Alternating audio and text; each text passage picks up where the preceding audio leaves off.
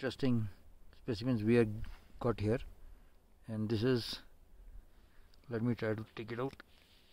Ah yeah. So I have taken out one of the specimens.